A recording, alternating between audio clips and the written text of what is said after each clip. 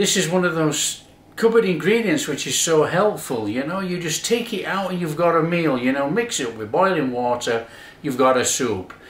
Hi guys. How you all doing? Welcome to backyard chef. I'm Rik. Today we are going to make the cream powder that is in all the cream of anything soups. Now I normally make a big jar of this and shove it in the cupboard. I use it regular away but I've run out. So we're going to basically knock up the cream of anything powder which you can use to cream of anything any soup.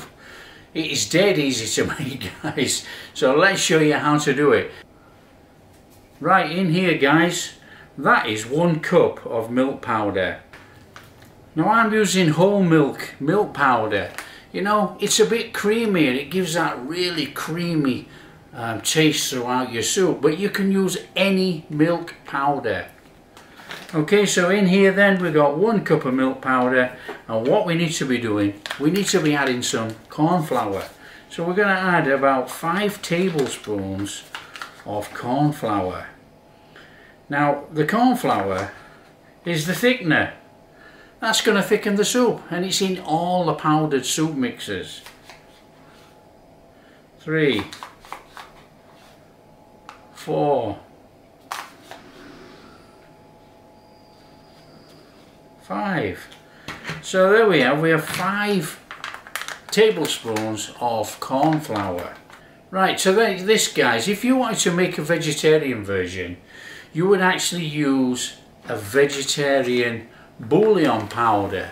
But I'm using chicken bouillon powder because, you know, I like that flavour through everything and I'm I'm not really a veggie. I like veg food, but I'm not a veggie.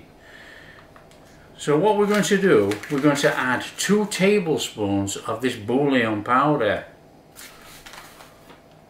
So we get that in there.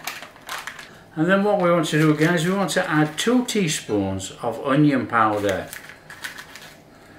Now you can use onion flakes if you want, grind them up, whatever. So that's our two teaspoons of onion powder. We want to be putting a little bit of a veggie flavour through there, you know. We want about half a teaspoon of dried thyme. And we want a couple of teaspoons of dried parsley. Now obviously we're making a dried mix guys so don't be using fresh parsley.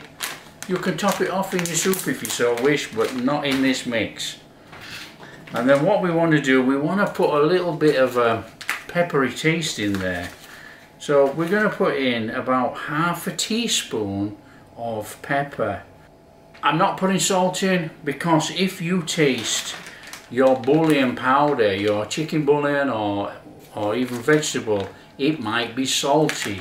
So we can add salt but we can't take it away. So all we need to do now is give this a good mix. So mix it all up.